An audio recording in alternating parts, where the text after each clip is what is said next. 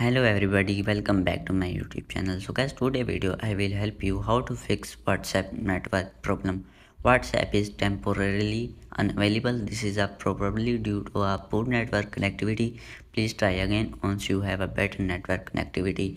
So guys if you want to fix this problem so follow my three steps before starting the video please subscribe my channel and hit on bell icon.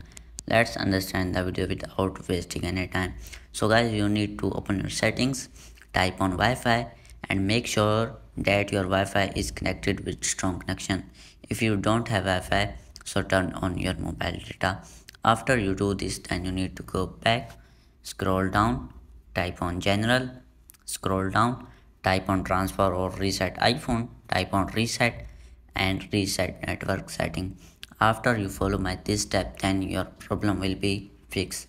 If still your problem not fixed, then you need to go back type on VPN and device management check your VPN is disconnect. If your VPN is connect so disconnect your VPN after you do this then you need to go back open your app store. You need to wait for some second guys. You need to search here whatsapp. You need to search here whatsapp guys. Wait for some seconds type on whatsapp make sure that your whatsapp is updated if your whatsapp is not updated so update your whatsapp. After you do this then you need to go back open your settings again go back type on software update.